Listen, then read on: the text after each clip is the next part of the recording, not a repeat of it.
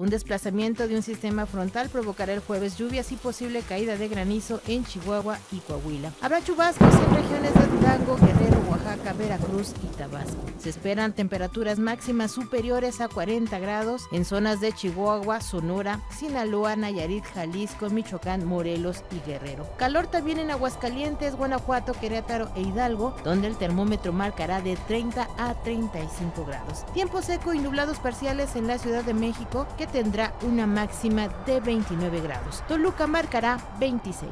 Para Enfoque Noticias, Noemi Cruz.